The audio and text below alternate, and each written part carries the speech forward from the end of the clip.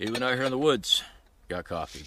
All right, guys, welcome back. Survival Living here. So for my birthday, I wanted to take you out here and teach you some outdoor survival, hypothermia survival skills, some training. Unfortunately, it's 71 degrees. Yeah, I know.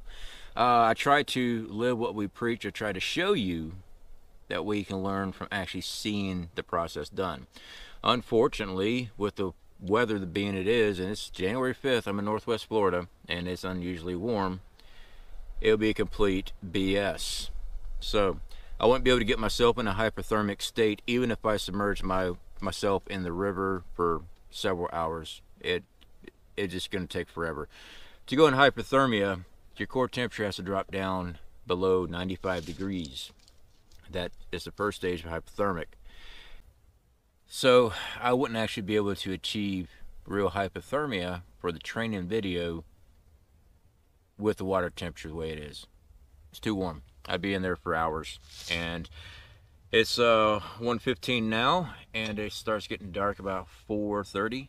So I got here a little late. Uh, one of my wife's rabbits is going to the veterinarian today. He has some issues, so she took him out there. Um, so I got the camp late. I did get base camp set up. We'll tour that tonight. Base camp was going to be a fallback for me. Basically, if I screw up, I had a place with gear to sustain my life and get me warmed back up if I messed up in the hypothermic training. Well, it's my birthday, so we're just going to be camping tonight. So, with hypothermia survival, guys, I wish I was in a cold environment so I can show you I've lived it, but I like to show you what we do. Uh, so basically what I'm going to do is I'm going to go ahead and do a mocked up version for you and I'm going to show you exactly what I would have done minus stripping of course uh, but I actually, the only thing I was going to take with me during this whole exercise was a rain poncho. And the reason I was going to do the rain poncho so you didn't have a complete blur of everything, at least I could function, show you everything. Um, you know, if I'm wearing the rain poncho, it's not censored, right? But fortunately for y'all, you missed that on that one, right? Um, and that was it. That's the only skill I was going to get. I have a knife on me, but I wasn't even going to be able to use this. I will be showing you what I am going to do down there. So, of course, with hypothermia, you need to get your body warm. Fire. Well, how are you going to get fire going without a knife? Uh, well, we're going to cover that in this video. Alright guys, stick around. We'll jump down there and we'll go over everything.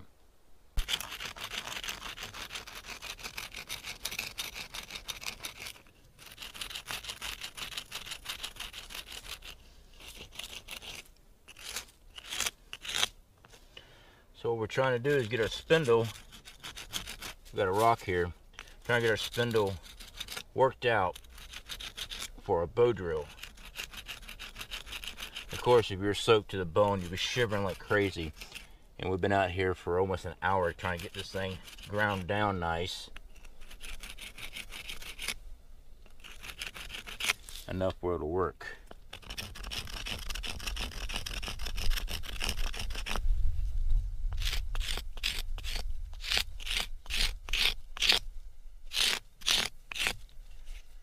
If there is moisture on it, it'll be okay because once you start your spindle in action, it'll dry out your wood. So we also got to get a board, we got to split it and try to make it work.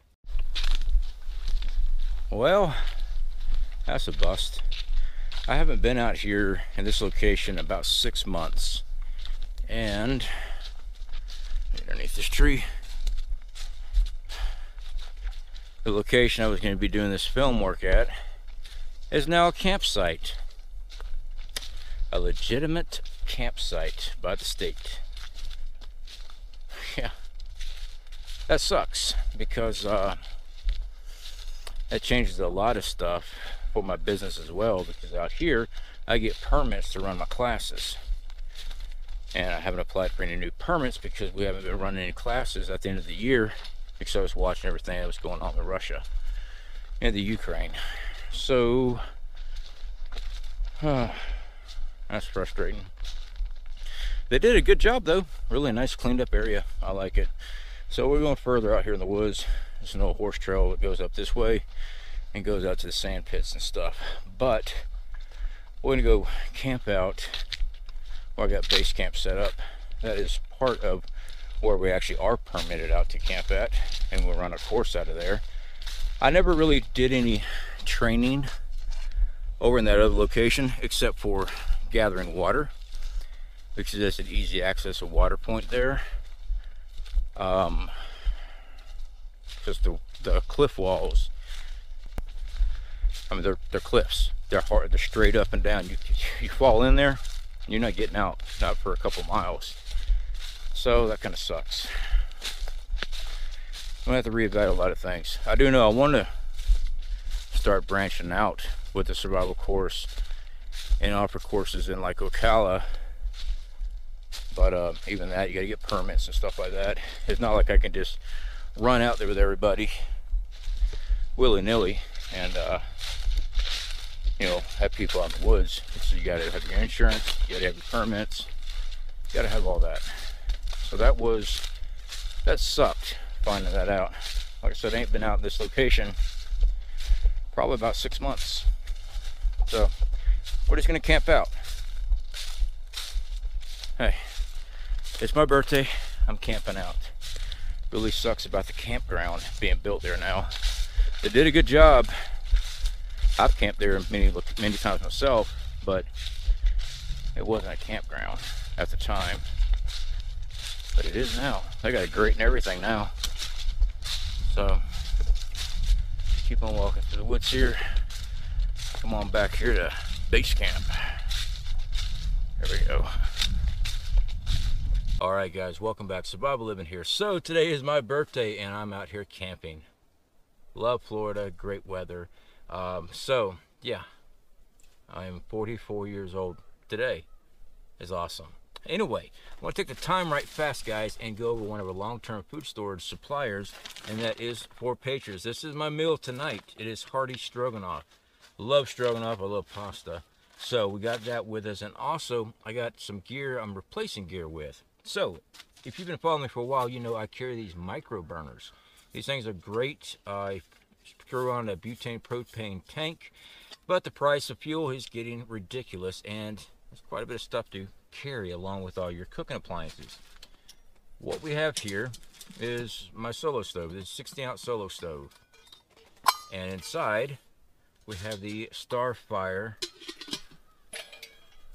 from 4Patriots. This thing here, guys, I've shown this before. Comes in a nice little case.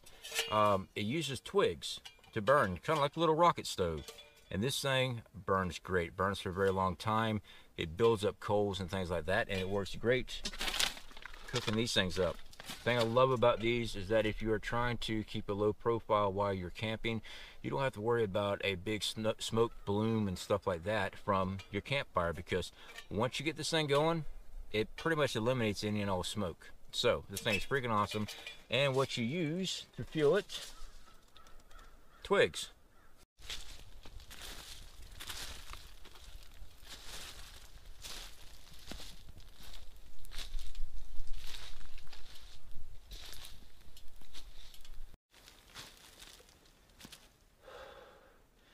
Yeah, guys, I know I'm smoking. I'm actually trying to get my scent out here.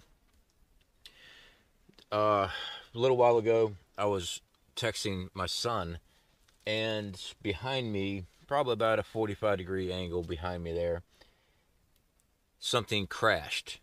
Now, it wasn't something falling onto the ground. It's not like something crashed through brush, but I didn't hear anything as far as footfalls. I got, I'm in a pine forest. You can usually hear things walk.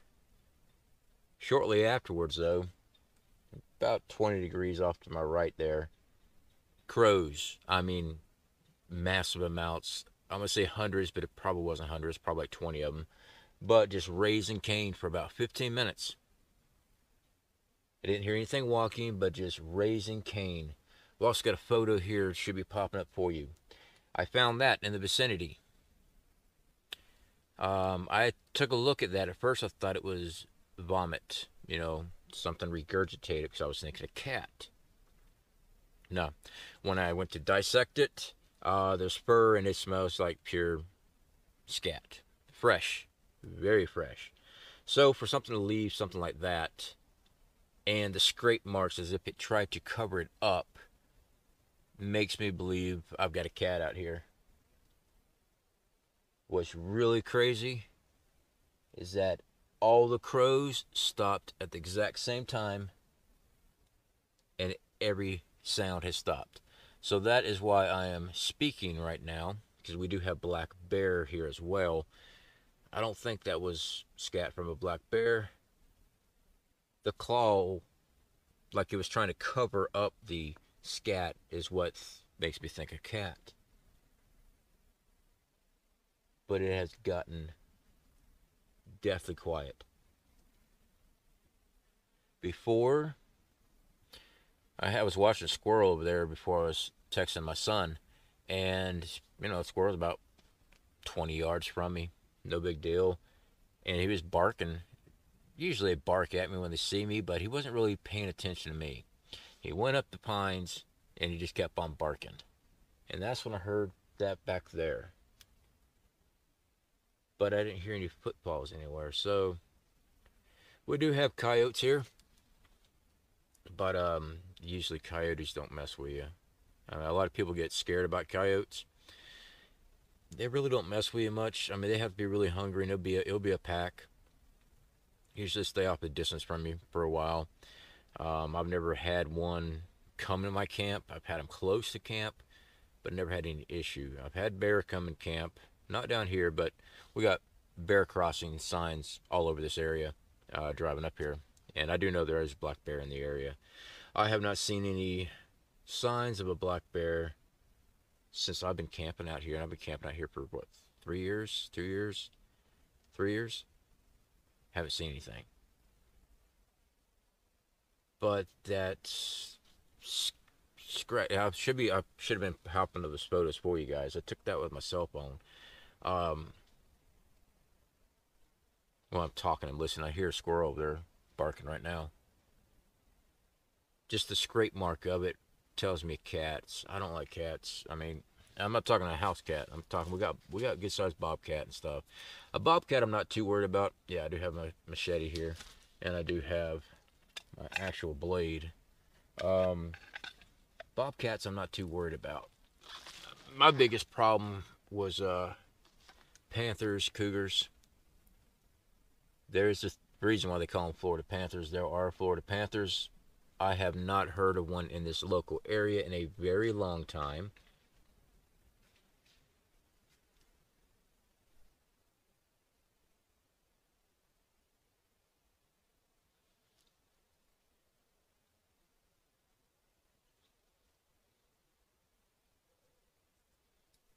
Yeah, no.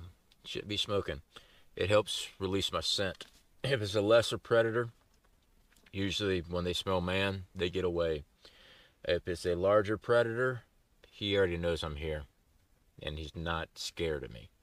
So sometimes fire helps. Fire does run up a lot of stuff. Um, I'm not seeing any movement. I'm, I'm hearing stuff move around as far as walking through brush, but it's not close enough yet. Don't worry, guys. I don't think it's Bigfoot. The uh, hair-like stuff we found several months back, I don't know, maybe a year ago, uh, it's some type of fungus moss is what it is. I mean, it looks like hair, burns like hair, but it's some type of fungus moss. So it ain't the Sasquatch people. It's just uh, something large out here. I don't like cats because they just they're creepy. I mean, they, they sneak up on you. They never come at you broadside. I mean, they always come from behind all the time. Usually you can. I mean, usually I can hear them, especially if they start moving through the uh, saw palmetto that's around here. But I'm not seeing anything around. Let me get the fire going here in a little bit. I was gonna wait till it gets a little bit darker. I usually don't run a campfire during the daytime unless I'm cooking it's just a waste of fuel to be honest i just use it at night warm up a little bit cook a little bit stay up a little bit then i'll just pile it up let it burn down and i'll go to bed So, I just got finished checking the weather. Uh, temperature's fixing to start dropping. I can feel it right now, which, of course, when the sun drops, it gets cold. Uh, looks like it's going to drop down to uh, 40 degrees tonight. I did bring our heated jacket. That is the DEWBU heated jacket we did a review on. Sitting over there right now. Uh, so, I'll be fine tonight, but you know, I kind of wish I could have done the hypothermic uh, survival video, but should be a pop-up here for you guys. They turned that into a campsite. And my plans were to dig a large trench. And, uh, and I was going to have an adjacent fireplace on the inside. That way I can lay material across the top, heat it up. As long as you got a coal bed, and everything's sealed, it heats up and it's actually very comfortable. Um, but I had that sand point picked out is where I was going to do it at. It's up high elevation. It's all sand. It'd been easy to uh, dig out with a uh, stick and everything, but oh well. I wasn't about to tear up the campsite. That'd be kind of a dick move. I, I can't stand it when people go camping and they leave trash. I can't stand that. And if you go to a campsite and start tearing things up, you just ruin it for everybody else. So, this is in the section that I usually run, the basic uh, survival course.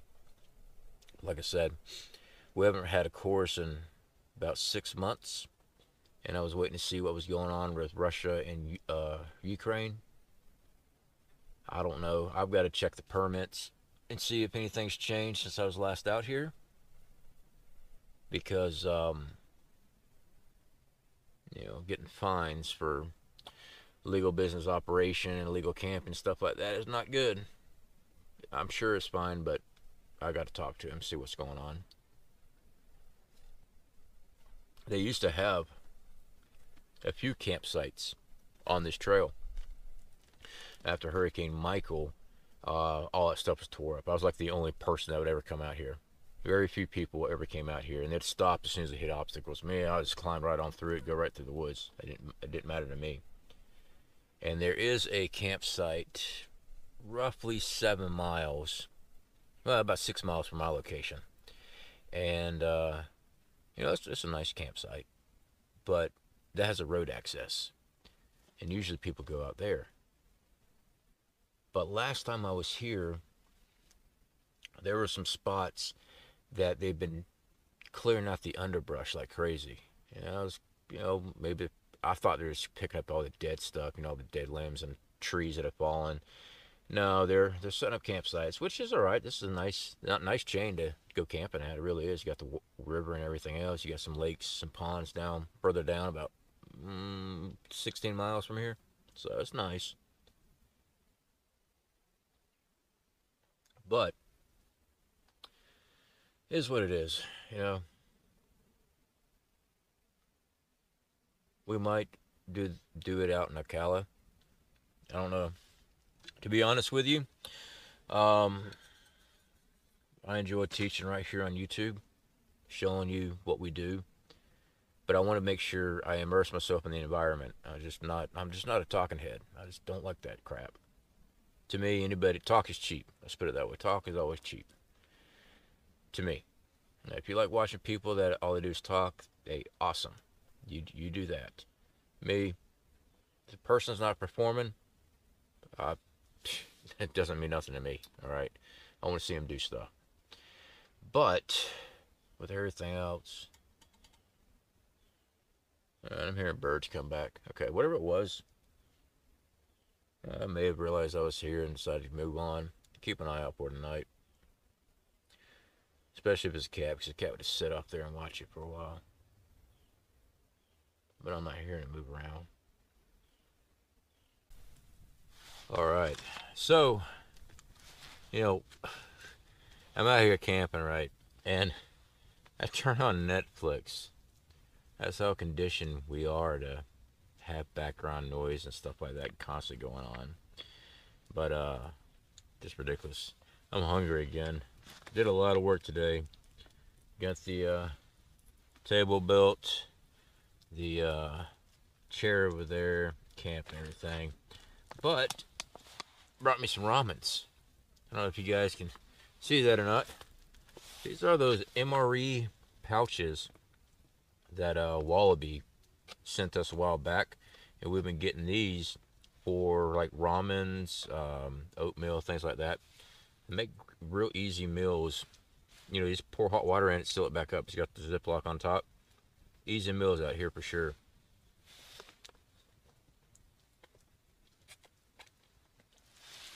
Mm. This one here is a beef. And I got chicken cooking over here. Yeah, I like ramens. Real quick, easy meal. I put the packet and everything inside of it. O2 absorber. Of course, I break these things up. I had somebody ask me a question about do we uh, mylar up the ramens? We do. I did a video. Should be a pop-up there for you. We crush them up, put them in, throw an O2 absorber, and uh, the season pack. But when I make these, I just pour hot water in it, put the uh, season pack directly in, you know, open it up, put it in. Make sure you take out your O2 absorber and just ziplock it. And it's nice having hot ramen. You don't have to worry about washing out anything either. So, these are really cool to have out here on a camping trip. I think they're actually called MRE style Mylar. And they are. Just pour, you know, pick what type of food you want to put in it. Pour your bowl boiling hot water in it. If you uh, freeze dry your own food, hey, there you go. Those uh, freeze dryers, they're not cheap. Are they worth investment? Yeah, if, I mean, you're talking 20 year shelf life on your food. If you do it yourself, mylar it up, yeah, you can't go wrong. I do not have one, but we're working with our group, if we can't all come together and get one. Between everybody working together on it, hopefully we'll be able to get one soon. Because, uh, like hamburger meat and all that stuff, it'd be great to have all that stuff freeze dried. We have a lot of it frozen, but even that we got to cycle through a lot. You know, uh, we started buying that a while back. Big old the big tubes of them. Freeze that. And having a solar, we're able to keep our deep freezers uh, running. So, a lot of people will sit there and talk about they buy fro frozen foods and stuff like that, but they don't have alternative mean of power to keep that frozen food good. You need to get a gasoline generator. That's one of the first ones, diesel, tri-gas, whatever, whatever you can afford for a short short-term event. You need solar, wind power, something, something with a big battery bank system to run that uh, refrigerator if you plan on putting all your preps there. It'd be nice to have a refrigerator or a freezer during an SHTF event.